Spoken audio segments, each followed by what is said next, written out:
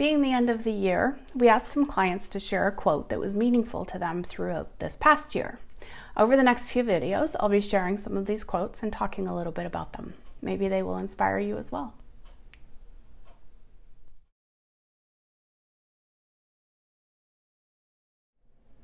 As we stand on the brink of a new year, consider the simple yet profound truth. A year from now, you will wish you had started today. You don't need to wait for a Monday or a January 1st.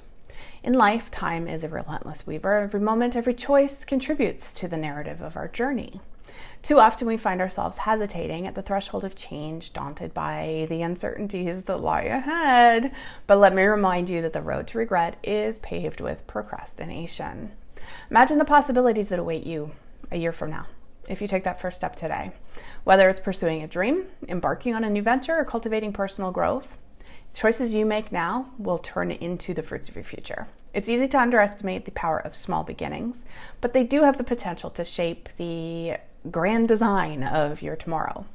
So think about the goals that you've set aside, the aspirations that you've whispered to the wind, and the opportunities that you've deferred. Now picture the satisfaction of looking back, not with remorse, but with pride in the progress that you've made.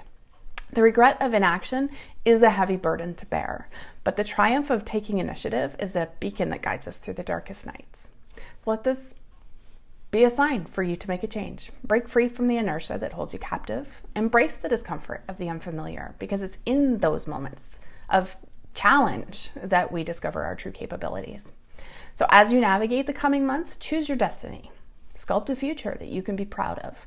And a year from now, I want you to reflect not on missed opportunities, but on the courageous choices that set you on a transformative journey. The hands of time wait for nobody, so just do it.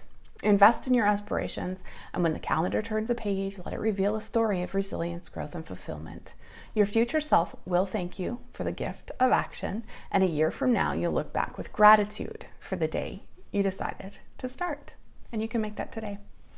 If you would like any more information about any of our health and lifestyle coaching packages or any of the programs that we offer, please email us at info at bemehealth.ca. Thanks for watching.